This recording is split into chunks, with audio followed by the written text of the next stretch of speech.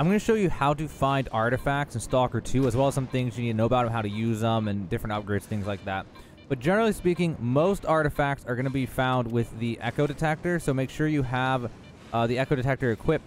Now, mouse and keyboard, you press by default, press 7, and that will, you know, take it out or put it away. You're going to have to actually be carrying it in order for it to work. I think on controller, you bring up this radial wheel, and then, yeah, you can do also this way on um, PC as well. You bring up the radial wheel while holding tab or whatever it is on controller, and then you see on the left whatever your button is, so it's Q on uh, PC, for example. So what happens is, whenever you're near one of these anomalies, there's a chance that some of these anomalies will have uh, an artifact. So when you have your echo detector out near an anomaly, if it starts activating, then you know there is an artifact here somewhere. So then it's pretty straightforward. It's just a matter of getting close enough and then finding the exact spot. And as long as you're holding the echo detector in your hand, then you'll uh, it should pop out if you can get close enough. It's just and the position's not always the same. So if you're saving and loading, then it could um it could move. It's not always in the same spot. Oh, there, there it is. There it is. Okay, yep. I got burnt to death trying to find it, but in my case, it was right here, for example. Then it, uh, an artifact will pop out. These are always the same. I tried saving and loading. It doesn't swap them out. They're, you know, the same one for same place. So Mama's Beads, for example, is going to be in the magnetic cave right here in the lesser zone. This is where I'm at right now, for example. So then, you know, you just pick it up like normal. This will go into your inventory, and then you can see it in here. Now, they have effects to them, and generally, most of these, what they're going to do is they're going to give you something, in this case, bleeding resistance, at the cost of they're going to continually irradiating, irradiate you. So generally in the very beginning, you almost don't even want to use these things, but later on, um, it does change. So in order to equip them, you can bring them over into here, or I think maybe just right-click equip them.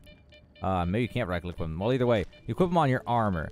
And in the beginning, your armor is only going to have one slot, but later on, you can get more slots. Also, you can upgrade your armor, add a technician. So if we go to our armor, I'm not add a technician, but this slot right here will let you get this, which will let you equip another artifact. Now, the thing is, though, that in order to use artifacts that give you that irradiate you, what you need is later on in the game, you'll start finding our artifacts that their main buff is resistance to radiation. So you can put on one that irradiates you, and then you could also put on one that reduces radiation.